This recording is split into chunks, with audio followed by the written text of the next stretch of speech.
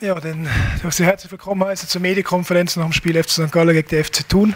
Ich begrüße heute wieder Zuschauer, die live zugeschaltet sind im Stadion. Von der Gäste ganz herzlich der Cheftrainer Ciriaco Sforza. Und für uns zum ersten Mal wieder Heimpremiere der Joe Zinnbauer.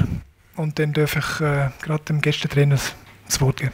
Ja, danke schön. Äh, ich glaube, das Spiel war sicher auf beiden Seiten, beide Seiten offen und ich glaube zuletzt eine unglückliche Niederlage. Wir müssen akzeptieren. Ja, und äh, weiter geht's und wir müssen nach vorne schauen. Ich glaube, es, es, bringt jetzt auch nicht viel zu reden, weil die Enttäuschung ist jetzt momentan da, aber morgen muss es weitergehen.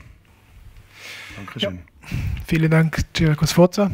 So, dann bitte doch kurz deine Eindrücke vom Spiel. Ja, erstmal Glückwunsch an die Mannschaft. Ich denke, es war ein Spiel auf Augenhöhe.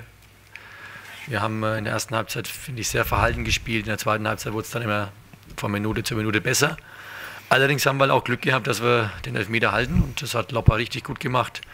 Aber auch die Mannschaft hat in der zweiten Halbzeit, finde ich, sehr erfrischend nach vorne gespielt und hat da eben auch äh, sich mutiger verhalten, haben auch ein bisschen mehr Ballbesitz gehabt, haben auch ein paar Automatismen erkennen können. Aber letztendlich, sage ich es nochmal, haben wir uns den Sieg erarbeitet. Äh, ob er jetzt dann verdient war, kann man sich überstreiten. Ich denke, aufgrund des Elfmeters, wenn wir den reinkriegen, wird es schwer, noch schwer überhaupt dran zu kommen. Aber aufgrund des Gehalten des Elfmeters haben wir eben auch dann durch einen Standard, endlich mal durch einen Standard, auch dann äh, drei Punkte behalten. Danke.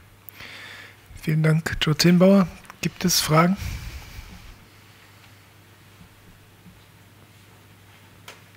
Offensichtlich nicht. Dann Dankeschön und den Gästen eine gute Heimreise. Dankeschön.